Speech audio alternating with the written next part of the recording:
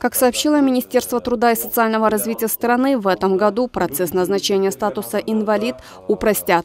Также на конференции был презентован документ, в который были внесены некоторые изменения процедур прохождения медико-социальной экспертизы Кыргызстана для людей с ОВЗ, а также дополнен перечень заболеваний, дающих право на экспертизу без стационарного обследования, добавил министр труда и социального развития Кыргызстана Улугбек Кочкоров. Задачей межведомственной рабочей группы было пересмотреть действующее положение по определению инвалидности, максимально снизить коррупционные риски и прекратить излишнюю волокиту и необоснованные отказы в продлении инвалидности или необоснованные занижения группы инвалидности.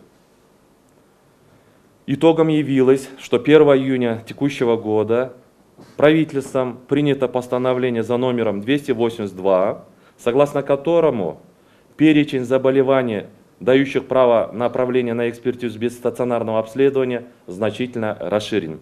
Представители общественного объединения «Рука в руке» были очень рады внесенным изменениям положения относительно детей, страдающих аутизмом, потому как для детей, страдающих тяжелыми врожденными патологиями, прохождение медицинской экспертизы является очень сложным и болезненным процессом в прямом смысле этого слова, поделились в обществе. Раньше нас включили сейчас в перечень заболеваний без стационара.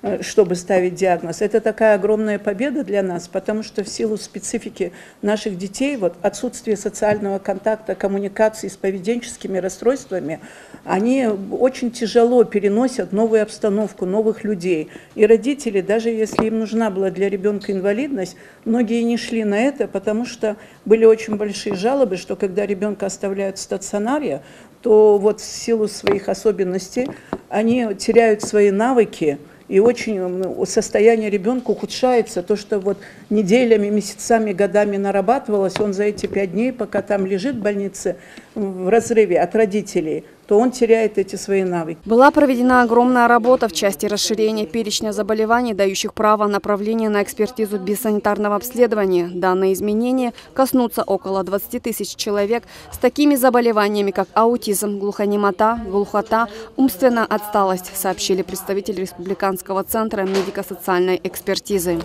Но если говорить о документе, это у нас документ называется «Постановление правительства о медико-социальной экспертизе» номер 68 от 31 января 2012 года. Мы внесли изменения, буквально документ вышел 1 июня 2020 года 282 номер.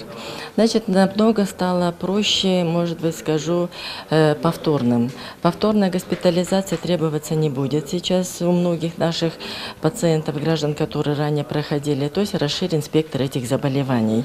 Но спектр заболеваний перечислять не буду, потому что там очень много, там более 60 нозологий сейчас получается. Наверное, станет намного проще.